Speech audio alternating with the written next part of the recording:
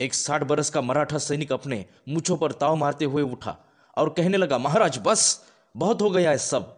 आप भी अब सख्त निर्णय लीजिए और ऐसे गद्दार मंत्री, अन्नाजी दत्तो और उनके साथीदारों की गर्दनी उड़ा दो। गद्दार राजद्रोही को छत्रपति शिवाजी महाराज क्या सजा सुनाते थे, ये भूल गए आप? शंभू राजा कहने लगे हिरोजी फरजंद हमारे काका, उन्हें भी हमने माफ़ किया। उन्हें फिर से सम्मान के साथ स्वराज में रखा। पर वो भी गद्दारों में शामिल। उस अन्नाजी के बारे में हम क्या कहें? हमारे जीवन में जहर घोलने के लिए मानो स्वयं यमराज ने ही उसे भेजा होगा। परंतु इन सभी बातों में हमें सबसे ज़्यादा बुरा लगता है वो हमारे सर चिटनिस बालाजी आउजी के बारे में। न जाने क्यों हमें ऐसा लगता है कि वो इन गद्दारों में शामिल नहीं है। हमारा मन बार बार यही कहता है, किसी एक ने कहा, क्या बात करते हो महाराज? गद्दारों ने लिखे हुए पत्र में किसके हस्ताक्षर हैं? और अगर वो गद्दार नहीं है तो रायगढ़ छोड़कर गद्दारों के साथ क्यों? महाराज ने कहा, जल्द से जल्द हमें निर्णय लेना पड़ेगा। कविराज, अब बिल्कुल समय बर्बाद मत करो। हमारे आबा साहब के पवित्र स्वराज को हम डूबने नहीं देंगे। संभाजी महाराज ने कवि कलश को आदेश दिया अन्नाजी दत्तो हिरोजी सोमाजी आवजी इन सभी मंत्रियों को हाथी के पैरों के नीचे कुछ कुचलवा दो, मार डालो इन सबको। पर बालाजी आवजी को सिर्फ़ बेड़ियों से बांधकर मेरे सामने लाओ।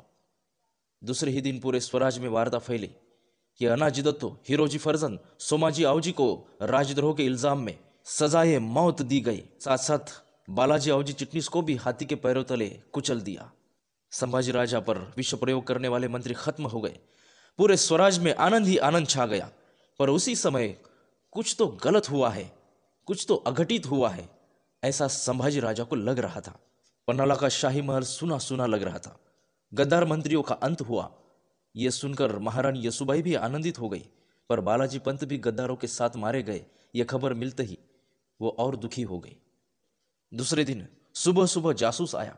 उसके हाथ में एक पत्र था। वह पत्र छत्रपति संभाजी राजा ने अपने हाथ में लिया और उस पर के बालाजी पंत के हस्ताक्षर देखकर उन्हें बहुत बड़ा धक्का लग गया।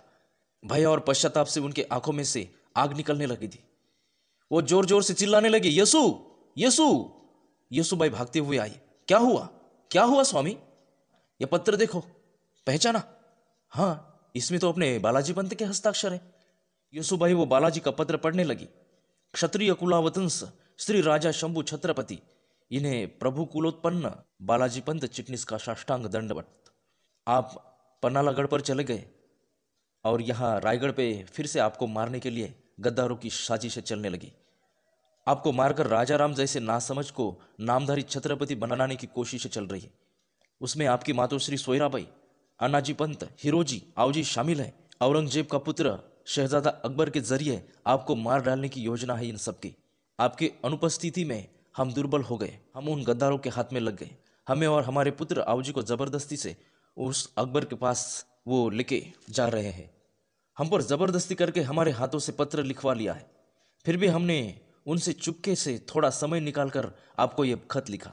यह खत हमारा विनाश होने से पहले आपके पास पहुँचना चाहिए। यही ईश्वर से प्रार्थना है। किसी सांप के आगोश में मेंढक आ जाए ऐसी हमारी अवस्था हो गई थी। इस अवस्था में हम कुछ नहीं कर पा रहे हैं महाराज। स्वामी स्वामी शंभुराजे आप सरस्वती पुत्र, ज्ञान कोविंद, आपका मन गंगा सागर जैसा। अब हमारे भाग्य में क्या लिखा है, ये तो ईश्वर ही जाने। परंतु परंतु शंभुराजे आपको और आपकी यशु रानी को सदगति मिले, आपका कल्याण हो। ईश्वर कृपा से अगर हम बच गए तो फिर से स्वामी की सेवा में हाजिर रहेंगे। आप खुद का ख्याल रखते जाओ। पत्र पढ़कर शंभुराजे ज़ोर ज़ोर से रोने लगे। हे परमेश्वर, हमसे इतनी बड़ी भूल कैसी हुई? यसुरानी कितना बड़ा अनर्थ हुआ हमारे हाथों। अभी समझ में आ रहा कि बालाजी पंत कवि कलश से बार बार क्यों पूछते थे कि स्वामी को खत मिला कि नहीं, स्वामी को खत मिला कि नहीं? यह खत हमें जल्दी क्यों नहीं मिला? शंभु राजा को अपरंपार दुख हुआ। अपने पिता शिवराय की मृत्यु के बाद दूसरी बार छोटे बच्चे की तरह वो रोने लगे थे।